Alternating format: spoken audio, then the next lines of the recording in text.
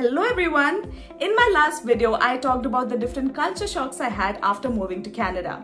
Today, I want to share one more culture shock, which is how seriously fire safety is taken here and what you as an international student should and shouldn't do in case of a fire emergency.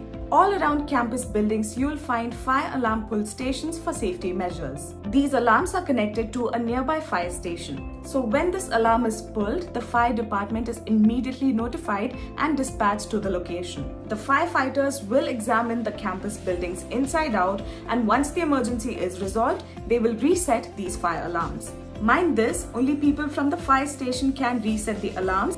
Remember to only pull if you see fire or smoke Emergency services will attend immediately.